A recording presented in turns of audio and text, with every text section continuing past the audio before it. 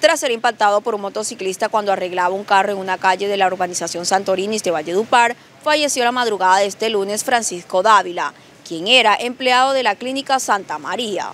Tras permanecer por más de ocho días en la unidad de cuidados intensivos UCI de la Clínica Alta Complejidad de Valledupar, falleció este lunes Francisco Andrés Dávila, quien había sufrido un accidente. Versiones indican que la víctima se encontraba arreglando un carro en la urbanización Santorini de la capital del Cesar, momento en el que presuntamente fue impactado por un motociclista. Tras el hecho, Francisco fue trasladado inmediatamente a dicho centro médico, en donde murió debido a la gravedad de los golpes que sufrió. Dávila laboraba en la clínica Santa María de Valledupar, en donde a través de un comunicado sus compañeros manifestaron sus condolencias. La inspección al cuerpo fue adelantada por las autoridades competentes, quienes llevaron el cadáver al Instituto de Medicina Legal y Ciencias Forenses de Valledupar.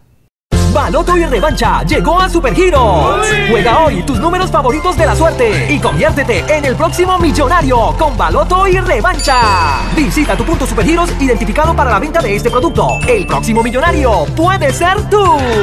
¿Para qué giros? Cuando hay Supergiros. Colaborador autorizado.